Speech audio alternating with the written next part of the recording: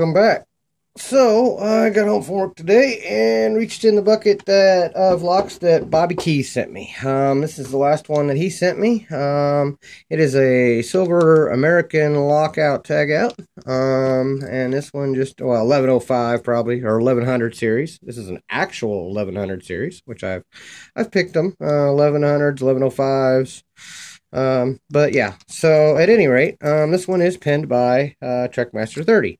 Um, realized that uh, um, West Coast Pick sent me a silver one as well, pinned by Trekmaster. So, and I think Trekmaster sent me a silver one. So I think I've, I might have, I don't know how many silver um, Americans he pinned up, but hell, I've had, I think I'm getting them all. so, but this one is from Bobby Keyz, and um, I figured I would put it in the vise and see what we can get get into it. It still has a mummied key. Eh, haven't touched it, so. Um, and I should be able to use my 50 thousandths on that. I can. And, uh, let's see, being a Trekmaster, I'm going to want all the feedback I can get. Um, I'm going to use my thin gem. Um, 15,000, or, yeah, 15,000. Uh, yeah. So, um, and Let's zoom in for you guys. You see anything we get. And we're going to go fairly light to medium tension to start with and search for a binder. Okay, I got a little bit on um, like four. I got to click off of him again, or five probably, I think that was. He's probably got this pinned up to six. I can't imagine him pinning it up and not making it six. That's two. Maybe two doesn't want to go. Getting a little bit of feedback on him now. Huh.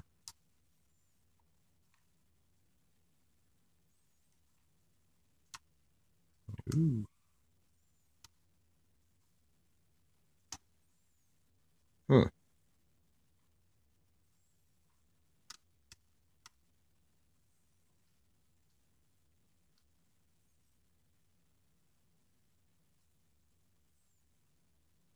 Lost my feedback. And I just overset one. That was two again. Oh, okay, just got good rotation. That was off of five. Oh, even more on four. Got a deep false set going here.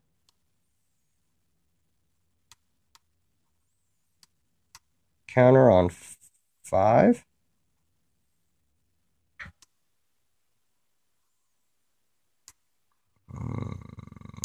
Okay. I'm going to need something thicker. Um, let's go with my DeForest.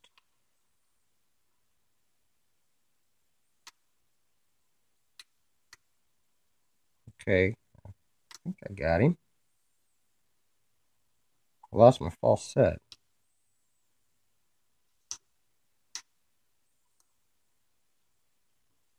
Think I dropped some other things.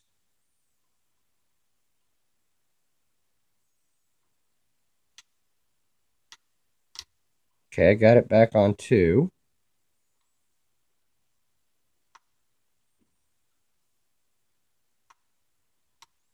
Oop, a little bit on three there.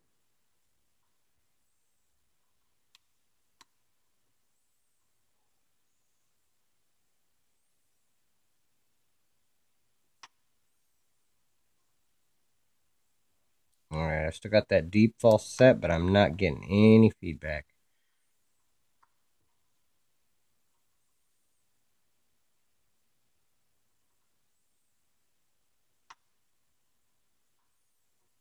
I'm guessing T-pin.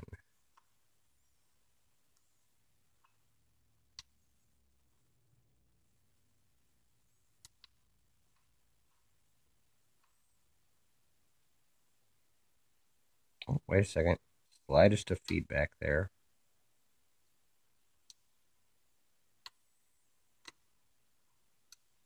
Ah. Uh,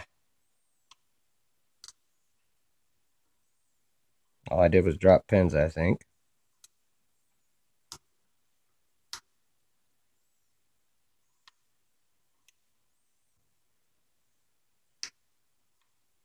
I'm slowly getting it back. Okay, got it. Wow, that's a deep false set. Again, slightest of feedback on five. Okay, I got to click on him that time.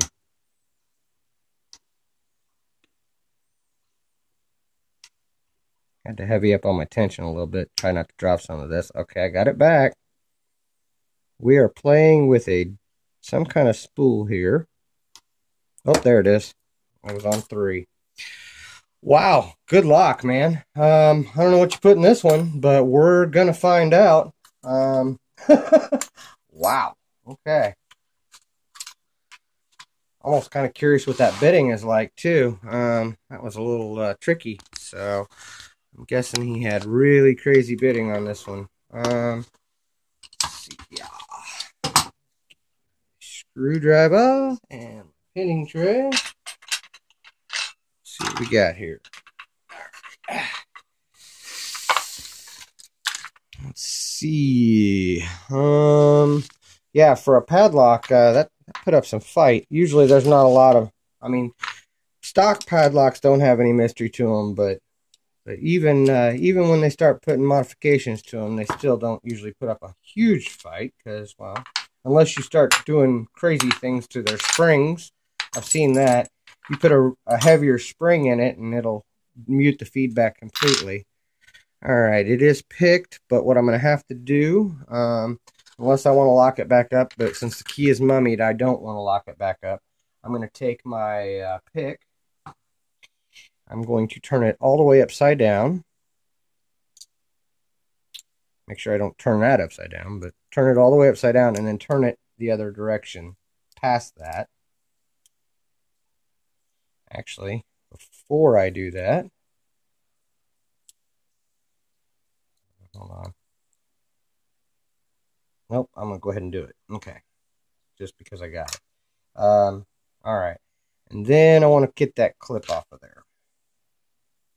Got this nifty little tool that should work.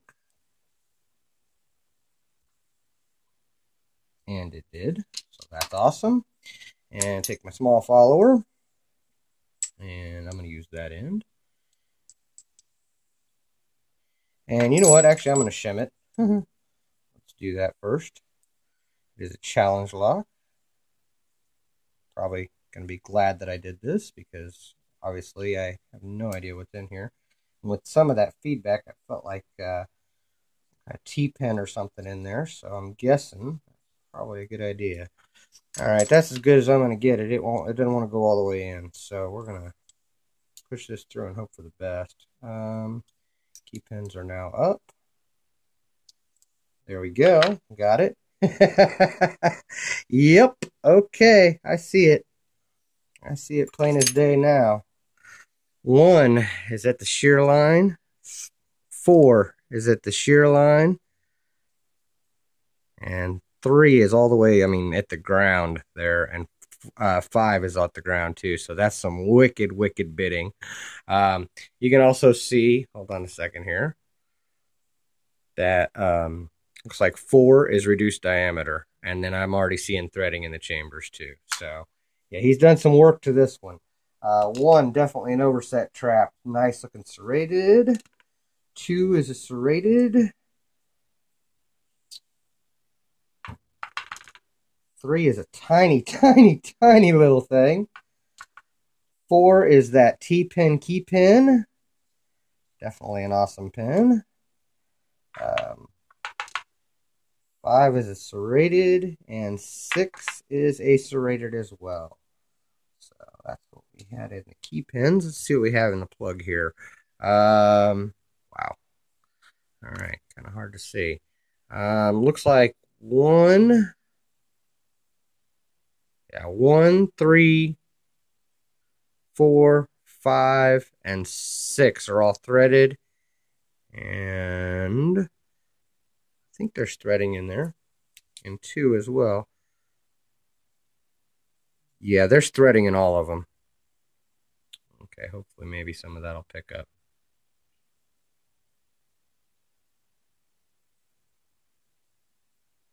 So, I think I'm getting that. Go. Yeah, all, all chambers were threaded. So, um, let's see what the magic is upstairs. Let's get that shim out of the way. And here in one we have a serrated, commercial serrated.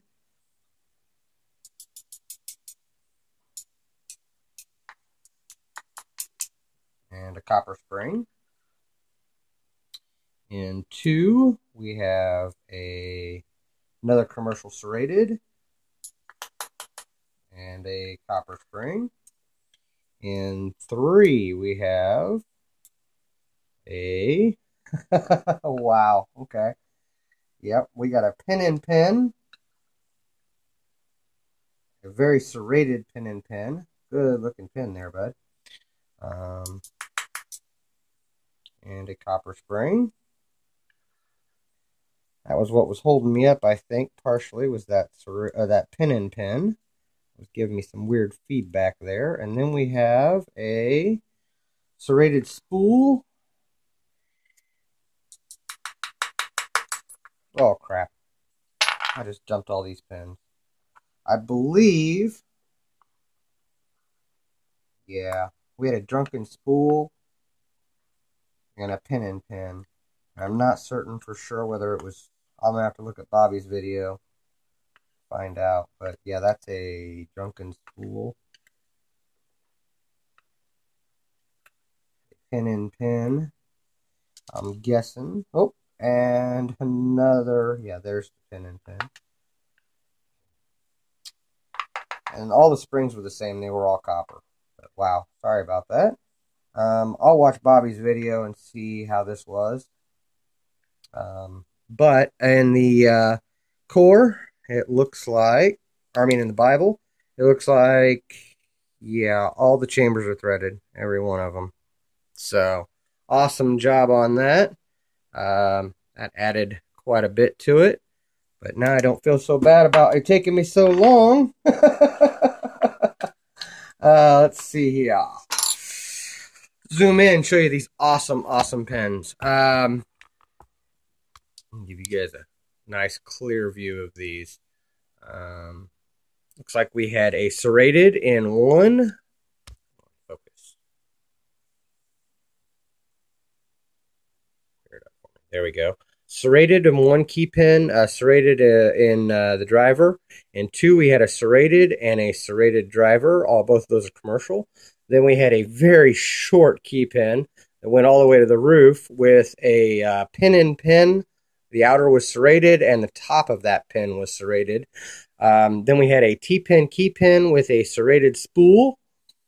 Um, and then we had a serrated with a serrated pin and pin uh, and the outer uh, outer was serrated and the top was serrated. Um, and then we had a serrated key pin, which, by the way, that's just an ups it's upside down in there. There we go. Um, we had a serrated key pin and a drunken spool that's serrated on the bottom. Um, yeah, that's what was inside this American. Uh, thank you, Trekmaster 30, for making it. Um, Bobby Keyz, thank you so much for sending this lock and all the locks that you sent me. Um, thank you guys for watching. Thank you for your time, and don't break the law. All right, guys, uh, quick addendum here. Um, after checking into it and looking at Bobby's uh, channel, and uh, he had a crazy gutting with it too. Um, I wanted to make sure that I got this on film so that somebody can check it uh, for future reference. This is the correct, after reading the comments and looking at everything, this is the correct orientation of these pins. So um, we're going to go over this again real quick just for solidarity um, so that somebody else can uh, see these if, if they need to. Um, again, we had uh, serrated in one and a serrated uh, uh top, uh, serrated in the bottom key pin, serrated in the uh, Bible driver. We had a standard and a T-pin pin and pin. It's serrated on top with the serrated collar. Then we had a T-pin key pin and a serrated spool. Uh, and five, we have a serrated key pin and a the T-pin is facing upwards with the uh, collar uh, uh, serrated on top. Um, and then in six, we have a serrated uh, key pin and a drunken spool um, in six. So that's the pins in this awesome lock. Thank you again, Trekmaster 30 for making it. Thank you again, Bobby Keyz for sending it. And uh, thank you guys for watching again. And don't break the law.